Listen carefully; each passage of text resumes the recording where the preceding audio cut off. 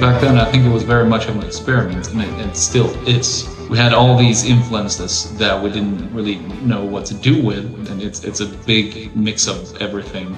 All those songs together formed a pretty interesting album. I guess we, we were still like finding our common ground and we were, Mm. were a bit unsure of what we were capable of as a band.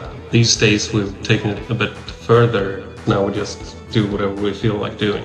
Bonus track, there's a song for uh, Ingeborg, which is in Swedish, and I wrote that as a tribute to my grandma, who passed away a couple years back, and she was one of my best friends. And